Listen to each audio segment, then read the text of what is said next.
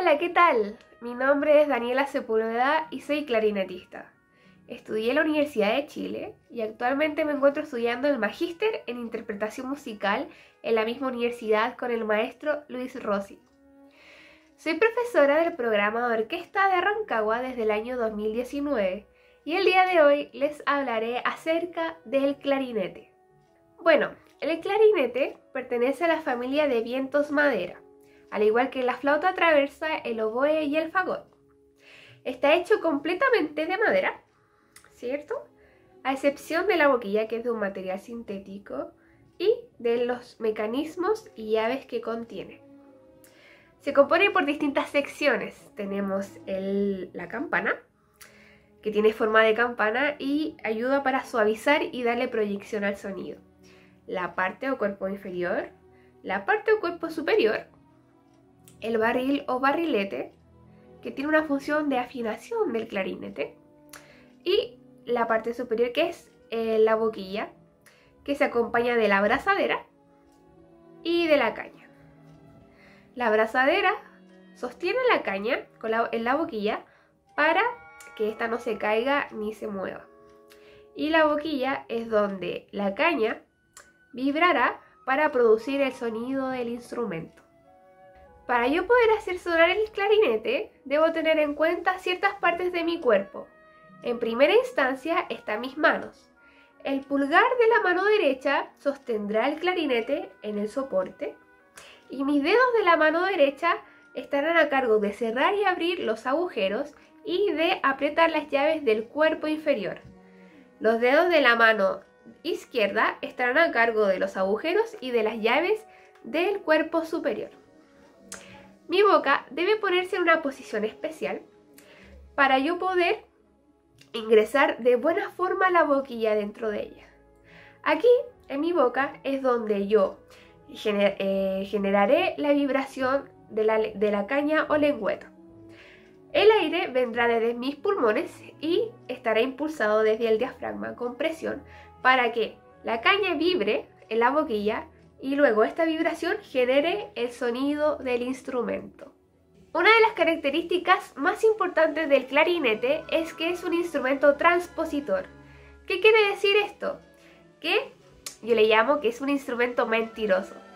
Si yo toco una nota o leo una nota, no me sonará esta misma nota, sonará un tono de diferencia. Es decir, este clarinete, que es el clarinete llamado en si bemol, es el clarinete más usado en el mundo. Por ejemplo, si yo toco un Do, con esta posición de los deditos, no me sonará un Do, sonará un Si bemol. Siempre estaré a un tono de diferencia hacia abajo. Otra de las características importantes del clarinete es que tiene una amplia familia. Tiene instrumentos o hermanos más eh, graves y un hermano que es más agudito. Entonces, eh, el clarinete que más cercano es a este es el clarinete La, que es un poquito más grande. Tenemos el clarinete piccolo, que es el más pequeño y más agudo, el clarinete alto, luego el clarinete bajo y el clarinete contrabajo, que es el instrumento que tiene un sonido más grave de todos. Otros familiares más cercanos del clarinete son el corno divaceto y el clarinete divaceto. Una de las cualidades importantes también del clarinete es que puede producir una amplia gama de sonidos diferentes por lo cual lo podemos encontrar también en muchos tipos de músicas alrededor del mundo. En su forma más clásica lo encontramos en las orquestas sinfónicas. Además lo podemos encontrar en bandas militares, en los desfiles y marchas, ¿cierto?